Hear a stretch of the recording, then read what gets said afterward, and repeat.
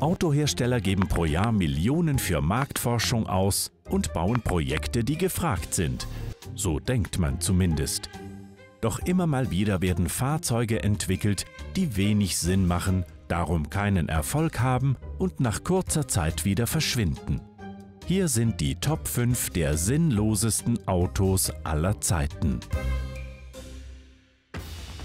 Platz 5 Hammer H1 Der Hammer war zuerst der Humvee, ein Fahrzeug der US-Armee.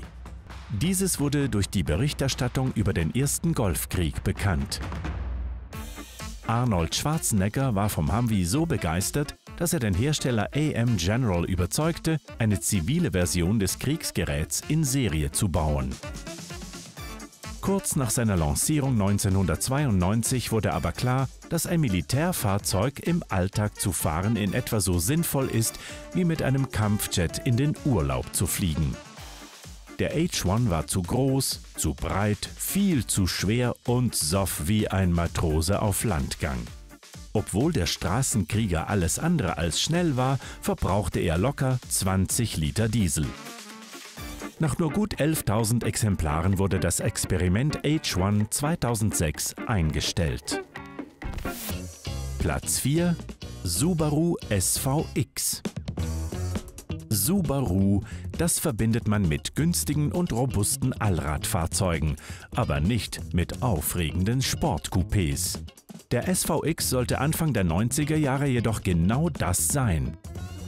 Mit einer futuristischen und aerodynamischen Hülle von Designlegende Giugiaro, einem 3,3 Liter Boxermotor mit damals beeindruckenden 230 PS und einer Höchstgeschwindigkeit von 235 Stundenkilometer sollte er Mercedes und Co. Konkurrenz machen. Dieser Plan floppte grandios. Gerade mal etwa 25.000 Stück wurden gebaut. Das Auto selbst als sinnlos zu bezeichnen ist ein bisschen hart, denn der SVX hatte durchaus seine Qualitäten und hat bis heute eine kleine, aber treue Fangemeinde. Jedoch grenzte der Plan, einen Subaru zum Mercedes-Preis anzubieten, an Größenwahn. Platz 3 gehört keinem Auto, sondern einem Motor, dem Audi V12 TDI. Der 6 Liter ist bis heute der einzige serienmäßige V12 Diesel. Ab 2008 wollten die Deutschen mit ihm Kapital aus ihren Rennsporterfolgen schlagen.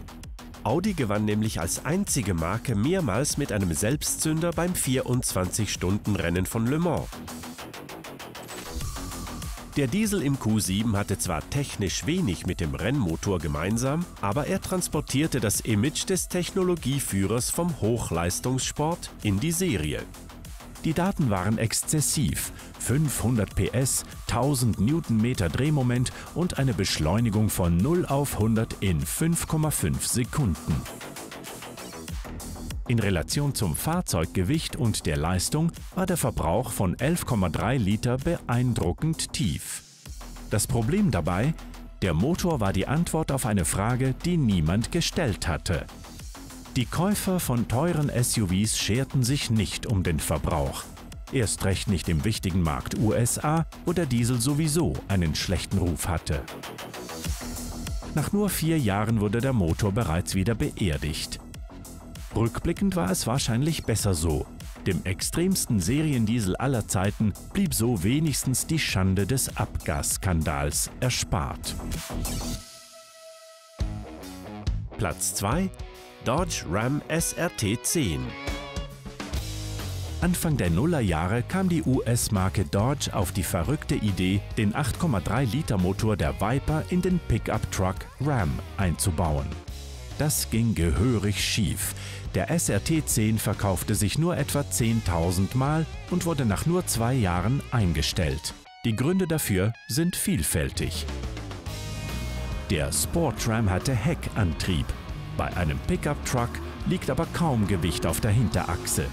Dies in Kombination mit der gewaltigen Leistung des V10-Motors ließ den Truck blitzartig ausbrechen. Ebenfalls problematisch war der Verbrauch, selbst für die USA der Nullerjahre. Der Hubraumriese verbrannte locker 25 Liter. Bei konstant hohen Geschwindigkeiten waren auch 40 Liter möglich. Die Kreuzung von Sportwagen und Pickup resultierte darin, dass man alle Nachteile, aber nur wenige Vorteile der beiden Konzepte hatte.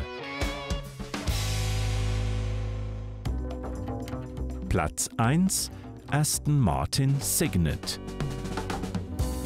Beim Namen Aston Martin glänzen sogar bei Autoleihen die Augen. Die Briten sind für ihre wunderschönen Coupés mit donnernden V12-Motoren weltberühmt. Gerade darum ist es umso unverständlicher, dass die Marke 2006 den Kleinwagen Toyota IQ innen und außen notdürftig aufhübschte und ihn als Aston Martin Signet verkaufte. Wahrscheinlich wollte man mit wenig Aufwand den CO2-Schnitt der Marke senken und dabei noch abkassieren. Der Plan ging gehörig nach hinten los.